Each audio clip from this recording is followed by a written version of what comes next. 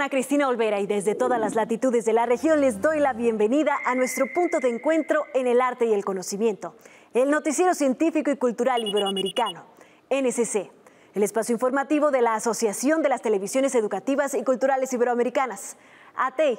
Acompáñenme en este recorrido de 30 minutos a descubrir lo que se produce, se investiga y se crea cerca de ti. El miércoles 21 de septiembre del 2022 se realizó el lanzamiento de la nave espacial Soyuz MS-22 a la Estación Espacial Internacional, con el astronauta de la NASA, Frank Rubio, y los cosmonautas rusos Sergei Prokopiev y Dmitry Petelin. El acoplamiento de la nave se produjo tres horas después del lanzamiento desde el cosmódromo de Baikonur en Kazajistán. Rubio es la primera persona de origen salvadoreño en viajar al espacio y así lo festejaron en ese país. En El Salvador siguieron de cerca el lanzamiento de la nave rusa Soyuz MS-22 en la que viajó a la Estación Espacial Internacional el primer astronauta de raíces salvadoreñas, Frank Rubio. En un evento en la sede del gobierno, funcionarios salvadoreños y de Estados Unidos observaron la transmisión del lanzamiento desde Moscú. Rubio, de padres salvadoreños y nacido en Estados Unidos, es también el decimosegundo hispano en volar a la plataforma espacial. Su madre, Mirna Argueta, se mostró muy emocionada por el logro de su hijo.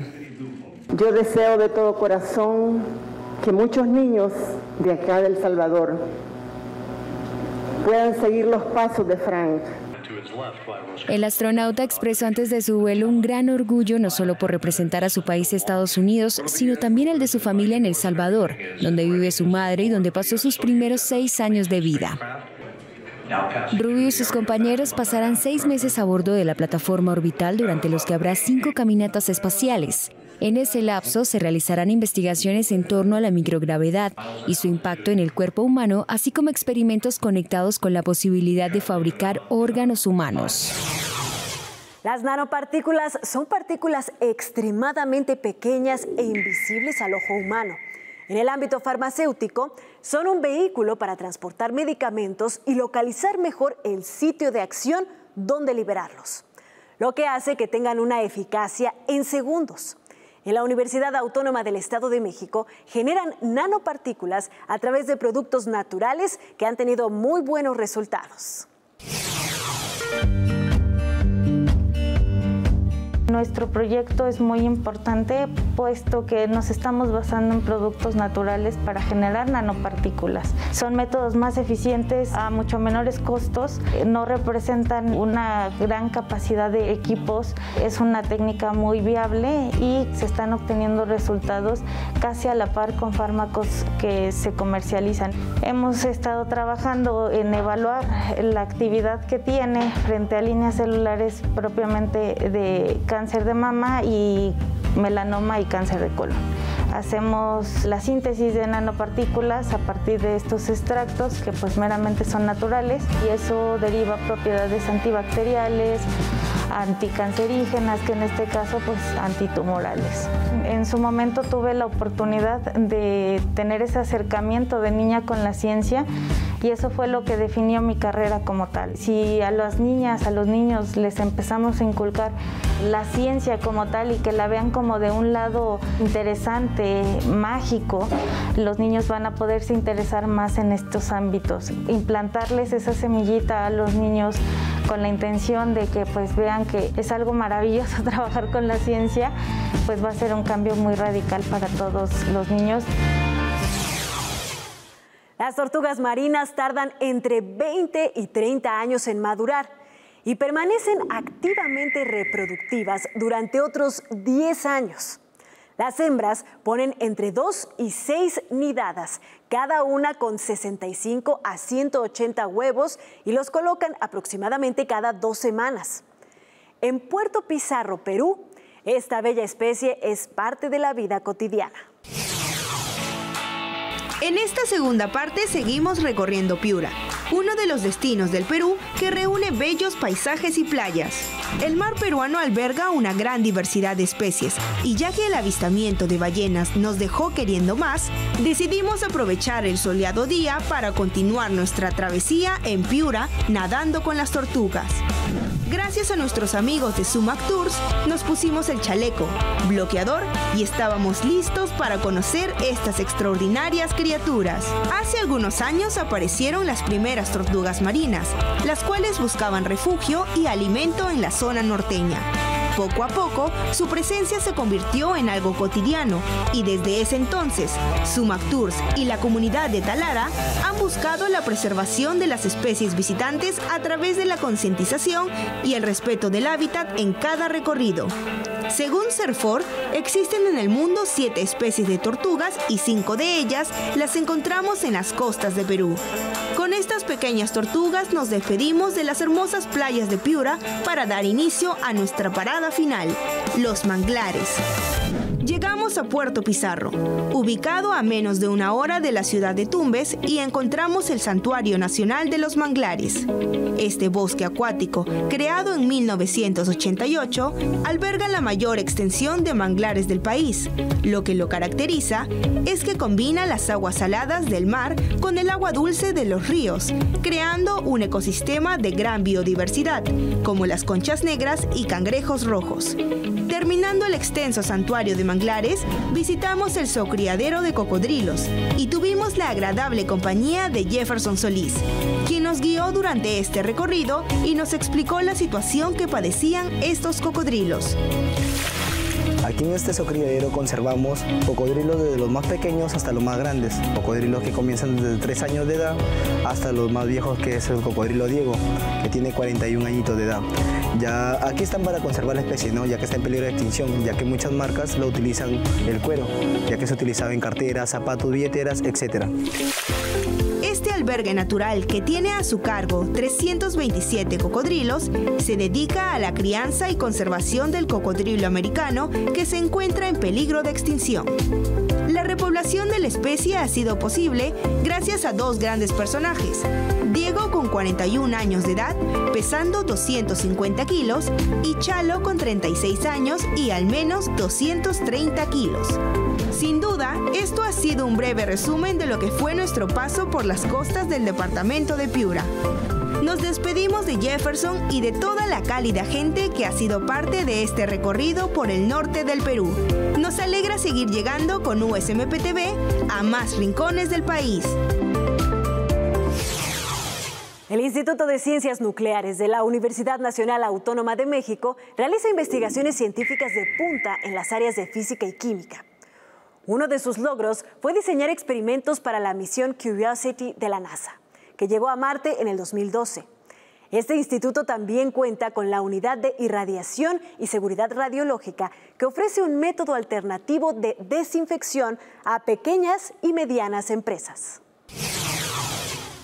El Instituto de Ciencias Nucleares de la UNAM cuenta con la Unidad de Irradiación, que ofrece servicios a pequeñas y medianas empresas, así como al público en general, el servicio de irradiación como método de desinfección alternativo. Y eventualmente se va ofertando el servicio, se va viendo que la industria lo requiere. Así se empieza a probar con ciertos cosméticos pues, la sanitización de sus productos o de los, de los envases o de los plásticos o de las brochas. Entonces empieza en los 90 a ver que sí era eh, conveniente tanto para la industria a nivel piloto como para el instituto y entonces se arranca en esas épocas la irradiación industrial. La radiación gamma es eficaz para desinfectar y esterilizar diversos productos como alimentos deshidratados, desechables de uso médico y quirúrgico, productos herbolarios, envases diversos, medicamentos y cosméticos, entre otros.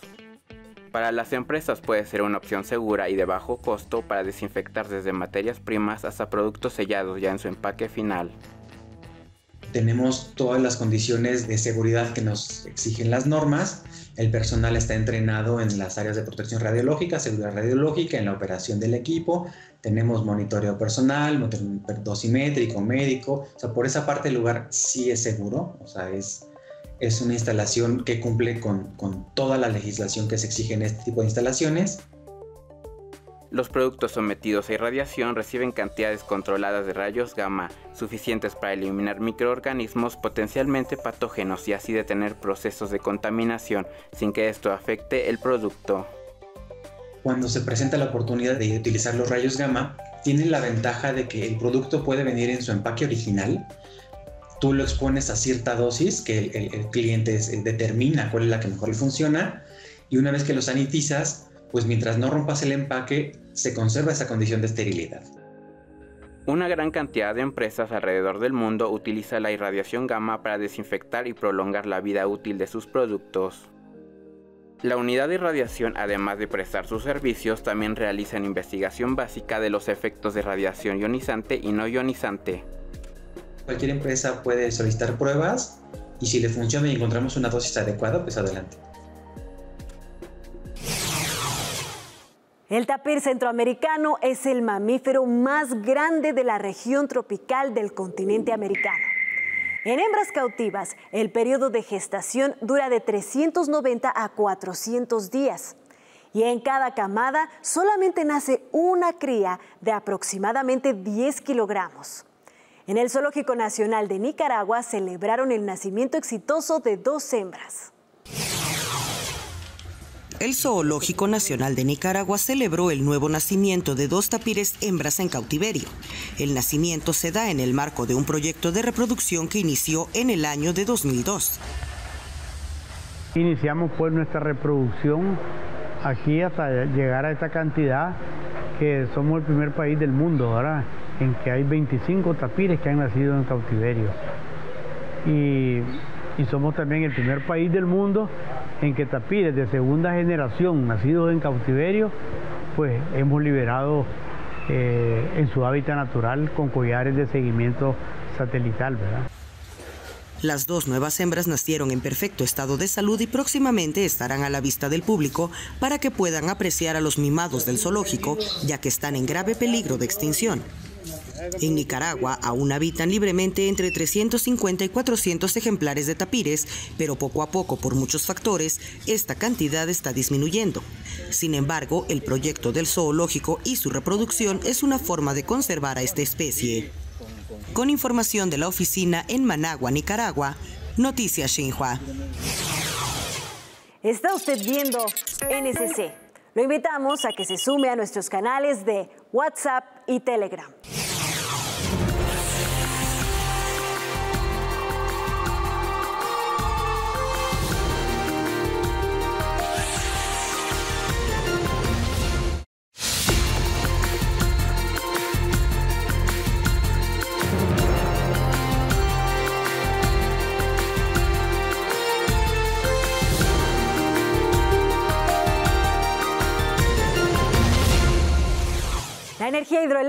Es la principal fuente renovable en el mundo.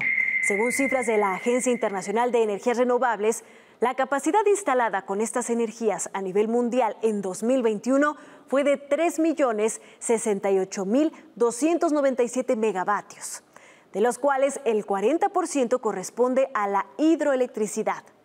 La presa de la mayor central hidroeléctrica del norte de Europa se encuentra en sus niveles más bajos desde hace dos décadas.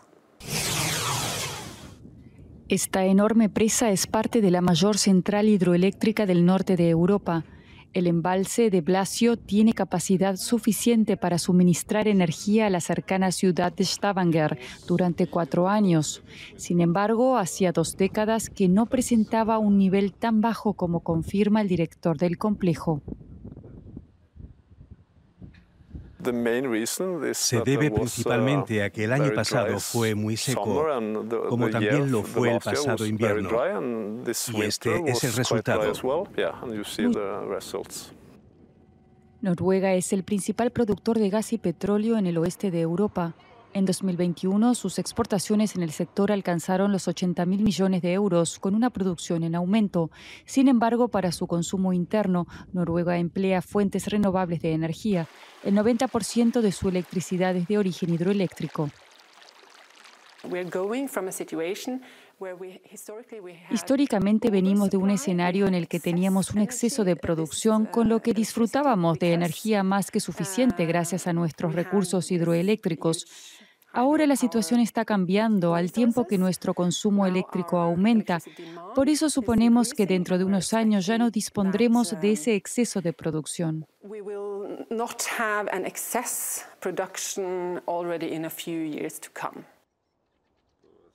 El gobierno busca soluciones para proteger a los ciudadanos y la economía. No obstante, los planes del Ministerio de Petróleo y Energía no incluyen prohibir las exportaciones. Estamos considerando reducir la producción de las centrales hidroeléctricas a corto plazo y ahorrar así agua para el largo invierno noruego. Obviamente, a corto plazo, ese recorte de producción causará un incremento de los precios del combustible noruego, lo que implicará una limitación de las exportaciones, pero será solo un efecto indirecto. No estamos considerando imponer restricciones directas a la exportación. Uh, a causa de la sequía y los fenómenos extremos derivados del cambio climático, la cooperación entre Noruega y sus socios europeos será clave también después de la actual crisis energética. El mundo ha tenido que lidiar con devastadores incendios forestales debido a la crisis climática. En Estados Unidos, en julio de este año, el fuego arrasó con más de 1.2 millones de hectáreas. En Rusia hubo más de 6.000 incendios que cubrieron más de 809.000 hectáreas.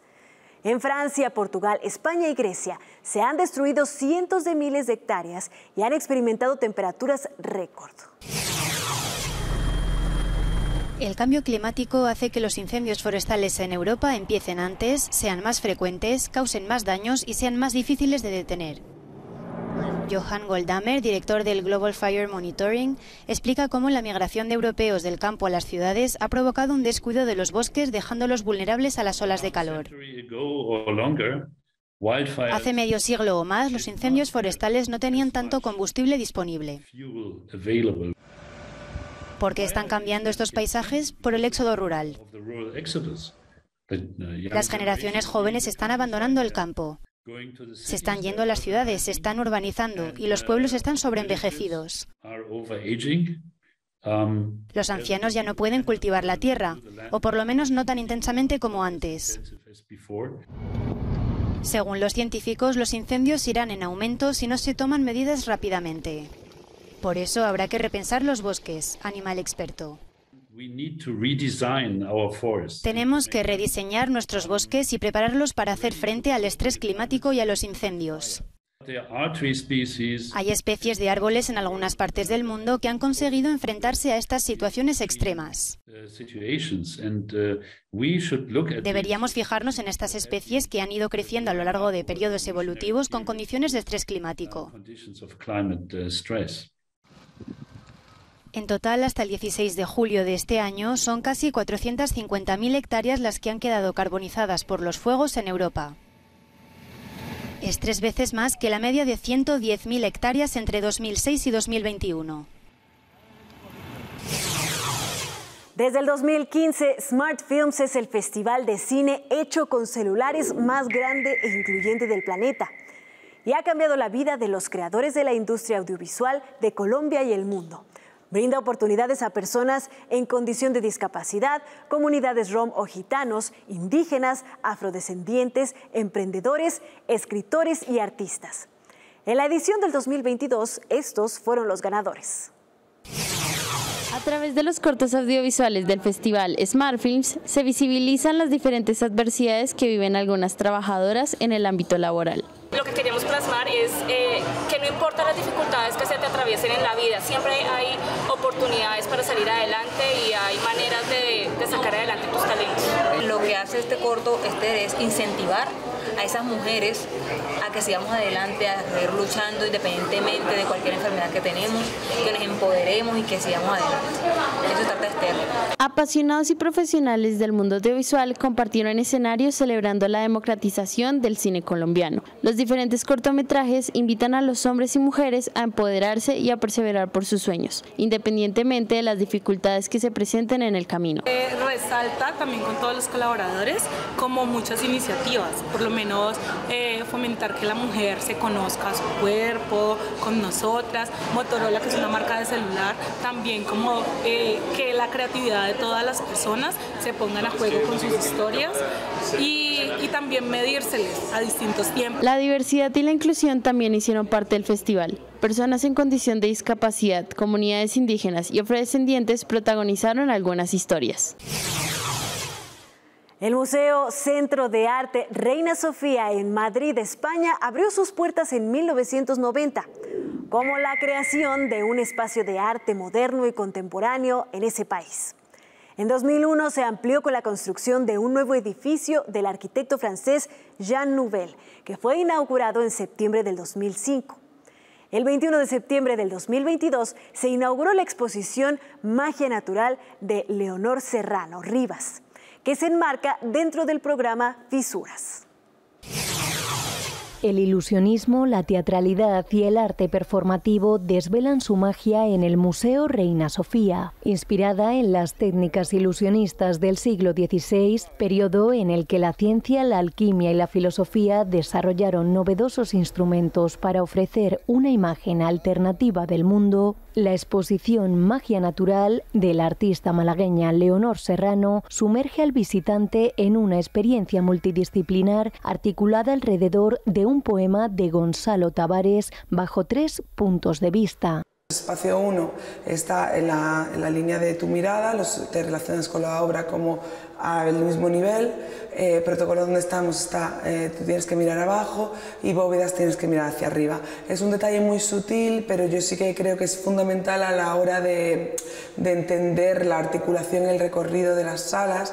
Las tres salas que acogen la muestra actúan como los propios artefactos ideados cinco siglos atrás, interconectándose durante todo el proceso mediante mecanismos empleados por los magos. De esta forma, el espacio 1 se transforma en una cámara oscura con la proyección de la película El Sol está contando las rotaciones de la Tierra, donde los muros elásticos y curvos de la sala envuelven al espectador en la contraposición de dos mundos, el imaginado y el real. La sala de bóvedas del museo funciona como una linterna mágica en la que el haz de luz de la proyección en 16 milímetros rebota en una serie de espejos y mediante un juego de reflejos transporta la filmación a una pantalla suspendida en el aire al otro lado de la sala. El sonido que anima la película se convierte también en imagen gracias al efecto de las placas de Slandy un experimento que transforma las vibraciones del sonido en formas dinámicas parlantes mediante el uso de sustancias granuladas sobre una superficie plana. Por último, la sala de protocolo conduce al visitante a una caja musical en la que la banda sonora del film recreado en el espacio 1 se materializa en una partitura que a su vez va creando cuatro tapices realizados en la técnica de Yacar que cubren el suelo. El director del museo, Manuel Borja Villel, nos habla del proceso creativo del artista. Ella, digamos, prioriza eh, la fantasía, prioriza la capacidad de unas máquinas anacrónicas y absurdas que son capaces de hacernos pensar eh, imaginarios otros mundos posibles. Este proyecto ha sido creado específicamente para el programa Fisuras, que brinda la oportunidad a los artistas para producir obra nueva en los espacios del museo. En este caso, Leonor Serrano, mediante un conjunto de juegos escenográficos basados en trucos del Renacimiento, ha configurado un nuevo cosmos dentro de los muros del museo en el que el visitante adquiere un papel protagonista para la experiencia artística. Gracias por habernos acompañado en este viaje informativo del Noticiero Científico y Cultural Iberoamericano, NCC. Este espacio de encuentro no sería posible sin la colaboración y plataformas de los socios de ATEI y las agencias informativas, AFP, F, Xinhua, Notimex, Euronews y la Deutsche Welle. Si quieren saber más, podemos estar comunicados a través de la web en noticiasnsc.com y las redes sociales.